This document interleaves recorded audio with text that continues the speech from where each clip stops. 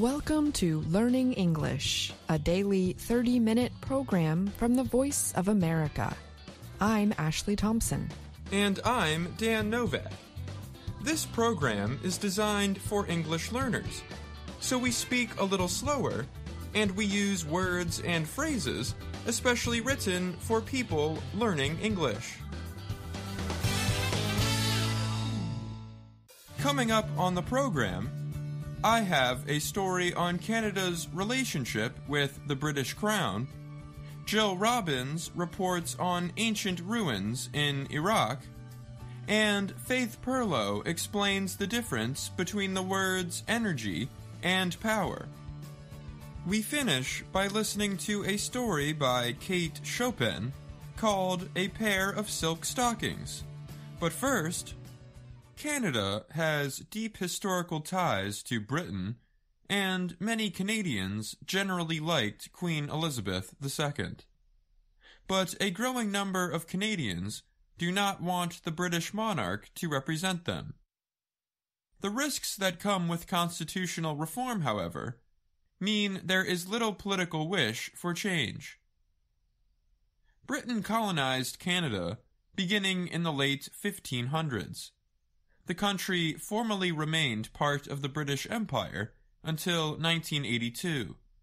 Now it is a member of the Commonwealth of former Empire countries that have the British monarch as head of state. A public opinion study by Canada's Angus Reid Institute in April found that 51% of Canadians do not want the monarchy to continue as its head of state. That is up from 45% in January 2020. Only 26% said it should continue. In addition, a new opinion study by the group Leger found that about 77% of Canadians said they feel no attachment to the British monarchy. Many Canadians felt sorry for the royal family after the death of the Queen but many find their relationship with the British monarch to be strange. Those from Quebec, the mostly French speaking province, feel even less connection with Britain. In the Angus Reid study, 71% of people living in Quebec said they no longer see a need for the monarchy. 20% of Canada's population is new to the country with little connection to Britain and indigenous or native people usually feel little warmth for the colonial power. Niigaan Sinclair is a professor of Indigenous Studies at the University of Manitoba. In an article for the Winnipeg Free Press, he said, Besides a whole lot of photo opportunities alongside chiefs in headdresses, the reign of Queen Elizabeth will forever be marked by inaction. Pro monarchy Canadians and observers say the constitutional monarchy is a well functioning democratic system. They also say changing the system would be both complex and politically risky. The massive constitutional effort of removing the crown would inevitably invite many other suggestions for constitutional change. Canada went down this road in the 1980s and 1990s, and the country nearly collapsed from all the competing demands, said Jonathan Malloy. He is a professor of political science at Ottawa's Carleton University. At least seven provincial legislatures representing more than 50% of the population, plus Parliament, must approve constitutional reforms. Prime Minister Justin Trudeau was asked about his position on the monarchy on Tuesday. Without fully supporting the monarchy or removing the chance for debate, Trudeau said his government will work on the issues important to Canadians. Once, the Iraqi town of Hatra was under the control of the Islamic State, or IS, militant group. Now, visitors can walk peacefully through the UNESCO World Heritage Site in the northern part of Iraq. Local leaders are trying to bring tourists back to the area after the invaders almost destroyed the ancient ruins. Hatra dates back to more than 2,300 years ago. It takes about two hours to drive there from Mosul, the former capital of IS. Iraqi and coalition forces recaptured Mosul in 2017. On Saturday, the first group of tourists arrived. A private museum in Mosul arranged the trip for about 40 visitors, most of them Iraqis. They walked around the more than 2,000 year old ruins as the sun began to go down. The tourists took photos of themselves in front of walkways. They inspected the stone structures that the IS extremists damaged. Luna Batata is a 33 year old visiting Hatra with her Belgian husband. It has great history, she said. A native of Iraq, Batata left her homeland 24 years ago. This is the first time she has returned. Visiting Hatra caused her to have mixed feelings, she said. You see bullet holes. You see many empty bullets. Hatra was an important religious and trading center under the Parthian Empire. It had high, thick walls for defense and magnificent temples. The buildings combined Greek and Roman building designs with Asian decorations. In 2015, IS released a video showing its militants destroying some of the sculptures at Hatra firing guns at them and cutting them with tools. Some of the sculptures have been repaired.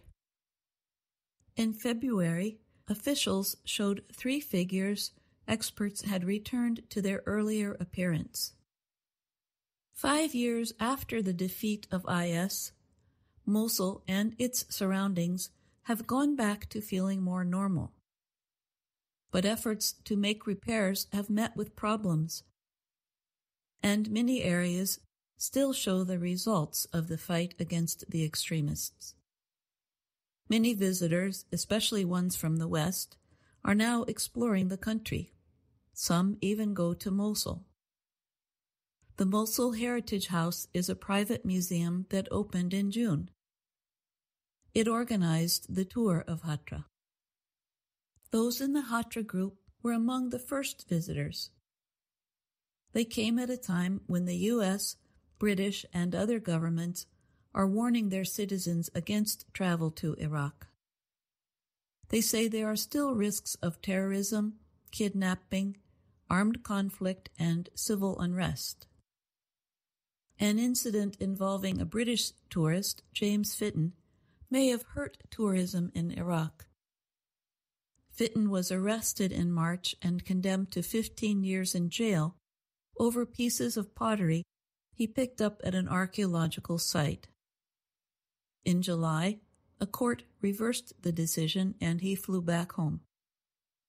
Religious tourism to the Shiite holy cities of Karbala and Najaf has been growing, mostly from Iran. Some major problems remain, however. Services and transportation for tourists are still basic in Iraq. Although the country is rich in oil, there has been much damage from the years of fighting. Bariar Baha al-Din is a doctoral student in anthropology at the University of Exeter in Britain. He was part of the group visiting Hatra. He said, Mosul isn't only war, IS, terrorism. Mosul is a civilization, heritage, culture. It should be full of tourists from across the globe. I'm Jill Robbins. Hello. This week on Ask a Teacher, we will answer a question from Max in Ukraine about the difference between energy and power. Dear Learning English, I'm Max from Ukraine. I'm improving my English by listening and viewing materials in VOA. I have a question about the difference in the meaning of two similar words energy and power. Thank you, Max. Dear Max, thank you for this interesting question. These words are commonly used interchangeably, meaning they are used in place of each other. But there are important differences in use under some conditions. Let's start with how these two words differ in the study of science. Energy is the ability to do work or create some kind of physical change. For example, energy is used to lift a box. The amount of energy to lift the box is the same. But what if you can lift the box faster than someone else? This is where the word power comes in. Power is how fast the work or change is done. In the field of physics, power is often measured in watts. An energy saving light bulb will use about 10 to 15 watts of power. Energy, as a noun, can describe the ability to do physical activities. It can be the feeling of life and enthusiasm that you use to complete tasks. If you have low or no energy, you may feel tired or run down. Energy can be temporary. You may have a lot of energy in the morning, but by the afternoon, you may not have any energy. Coffee gives me energy, but it quickly wears off. Power, as a noun, can mean the ability or capacity to do something. It can also mean that it is within your means or you have the resources to do something. This meaning has an association that power is naturally available. I don't have the brain power to finish my homework tonight. To have power means that you have control over something. If you have power, you have the ability and legal right to do something. To come into power or take power in a country means that a person or group controls it in some way. King Charles III took on the powers of the British monarchy after his mother, Queen Elizabeth II, died. We can also use power to talk about energy resources like nuclear and electricity. Nuclear power is environmentally friendly.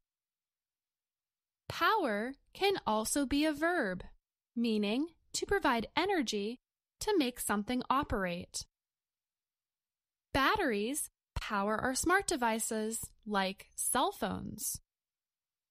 Please let us know if these examples have helped you, Max.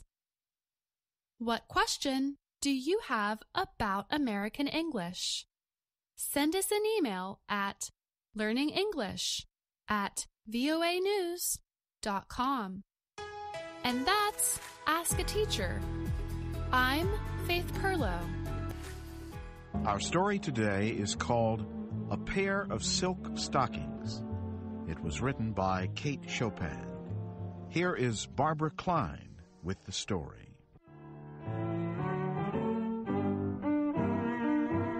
Little Mrs. Sommers one day found herself the unexpected owner of $15. It seemed to her a very large amount of money.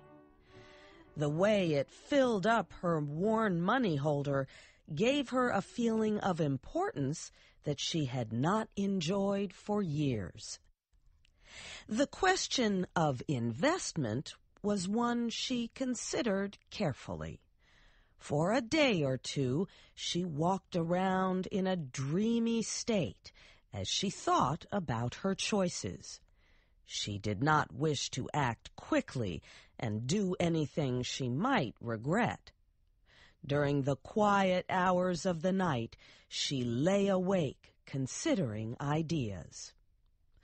A dollar or two could be added to the price she usually paid for her daughter Janie's shoes. This would guarantee they would last a great deal longer than usual. She would buy cloth for new shirts for the boys. Her daughter Mag should have another dress. And still, there would be enough left for new stockings, two pairs per child. What time that would save her in always repairing old stockings. The idea of her little family looking fresh and new for once in their lives made her restless with excitement. The neighbors sometimes talked of the better days that little Miss Sommers had known before she had ever thought of being Mrs. Sommers. She herself never looked back to her younger days. She had no time to think about the past. The needs of the present took all her energy.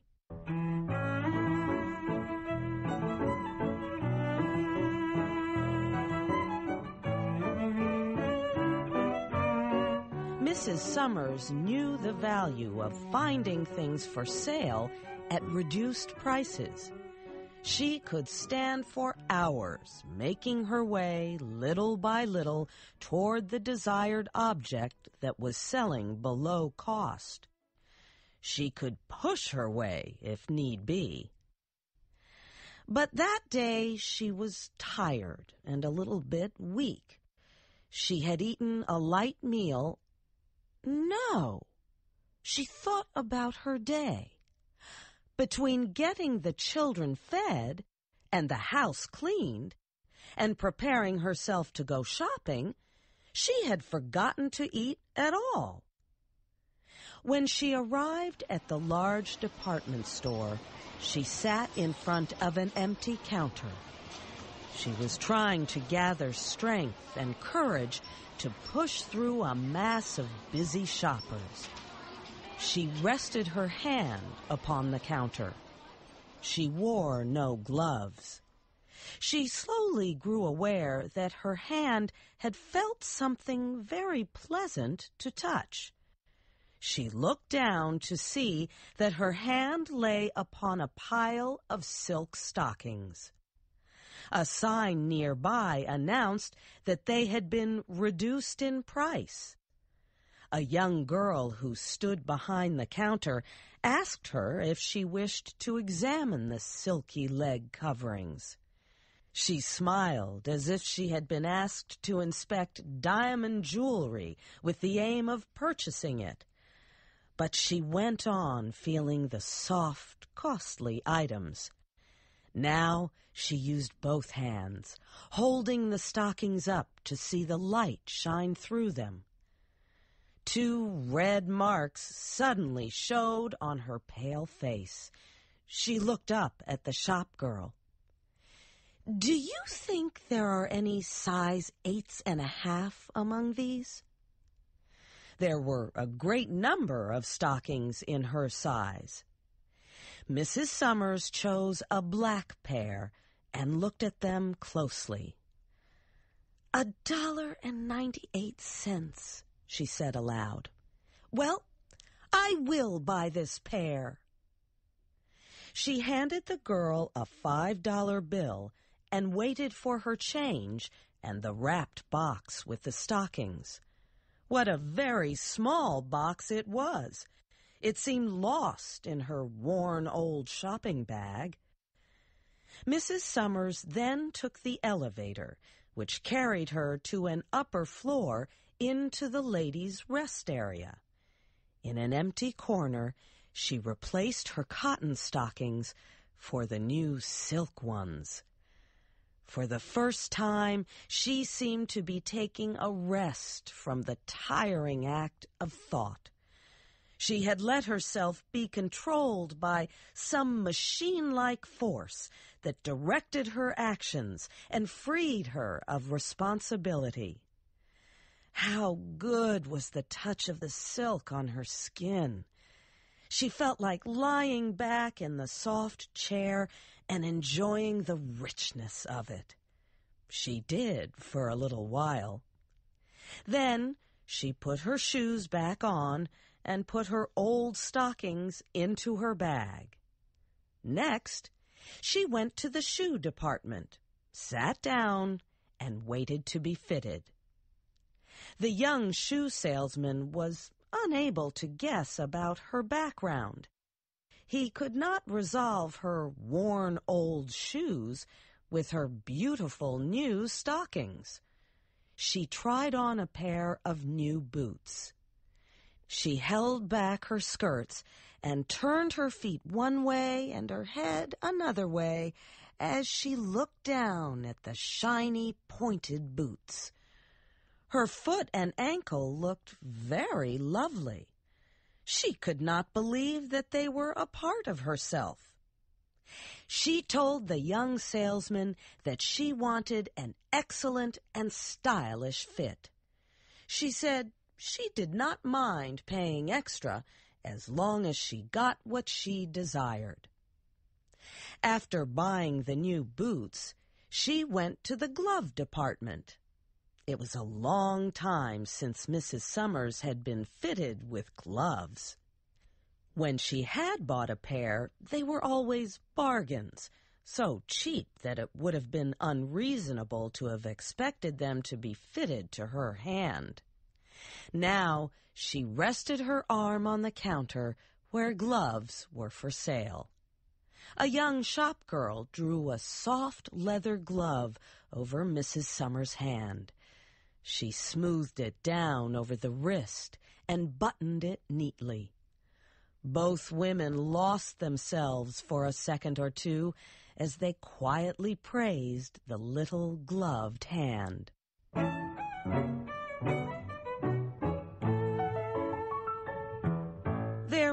Other places where money might be spent. A store down the street sold books and magazines. Mrs. Sommers bought two costly magazines that she used to read back when she had been able to enjoy other pleasant things. She lifted her skirts as she crossed the street. Her new stockings and boots and gloves had worked wonders for her appearance. They had given her a feeling of satisfaction, a sense of belonging to the well-dressed crowds. She was very hungry. Another time, she would have ignored the desire for food until reaching her own home. But the force that was guiding her would not permit her to act on such a thought. There was a restaurant at the corner. She had never entered its doors. She had sometimes looked through the windows. She had noted the white tablecloths, shining glasses, and waiters serving wealthy people. When she entered, her appearance created no surprise or concern, as she had half feared it might. She seated herself at a small table. A waiter came at once to take her order. She ordered six oysters, a chop, something sweet, a glass of wine, and a cup of coffee. While waiting to be served, she removed her gloves very slowly and set them beside her. Then she picked up her magazine and looked through it. It was all very agreeable. The tablecloths were even more clean and white than they had seemed through the window and the crystal drinking glasses shined even more brightly. There were ladies and gentlemen who did not notice her lunching at the small tables like her own. A pleasing piece of music could be heard, and a gentle wind was blowing through the window. She tasted a bite, and she read a word or two, and she slowly drank the wine. She moved her toes around in the silk stockings. The price of it all made no difference. When she was finished, she counted the money out to the waiter and left an extra coin on his tray. He bowed to her as if she were a princess of royal blood.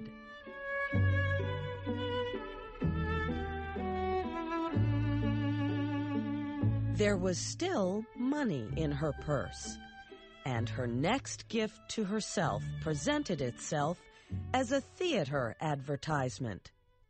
When she entered the theater, the play had already begun. She sat between richly dressed women who were there to spend the day eating sweets and showing off their costly clothing. There were many others who were there only to watch the play. It is safe to say there was no one there who had the same respect that Mrs. Sommers did for her surroundings. She gathered in everything stage and players and people in one wide sensation. She laughed and cried at the play. She even talked a little with the women. One woman wiped her eyes with a small square of lace and passed Mrs. Sommers her box of candy. The play was over, the music stopped, the crowd flowed outside. It was like a dream ended. Mrs. Sommers went to wait for the cable car. A man with sharp eyes sat opposite her. It was hard for him to fully understand what he saw in her expression. In truth, he saw nothing, unless he was a magician. Then he would sense her heartbreaking wish that the cable car would never stop anywhere, but go on and on with her forever.